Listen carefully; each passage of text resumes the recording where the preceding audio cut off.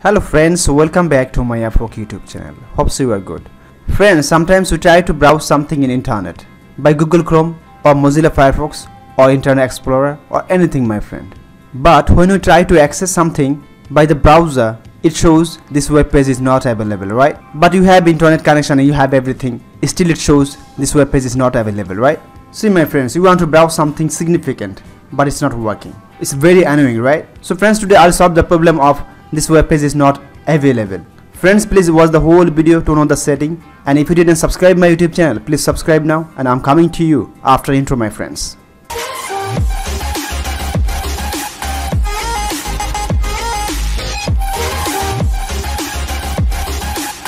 Friends for this you have to go in control panel from windows dialog box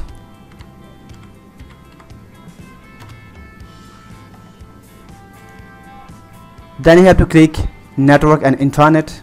Then you have to click network and sharing center. Now you have to click change adapter settings. Now you can maximize this one. Now you have to select the respective internet you are using. So i'm using this one so i have to select this one. Then you have to click right button of the mouse.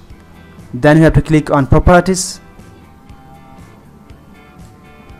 See my friends here lots of option right client for Microsoft Networks, file and printer sharing for Microsoft Networks, QoS packet scheduler, right? Blah blah blah. So friends, you have to select Internet Protocol version 4, TCP IPv4, this one. Then you have to click Properties.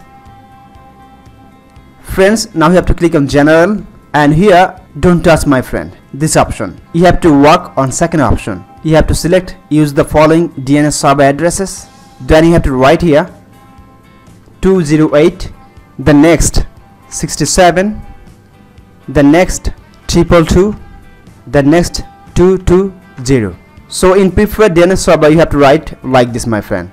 And alternate DNS server you have to write 208 67 220 again 220 after that you have to give the check mark here validate setting upon exit.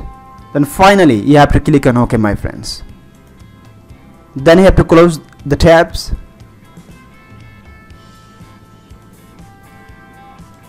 See my friends now windows detecting the problem automatically and it will solve automatically my friends. So you have to wait few minutes for this. Now you have to close this one also.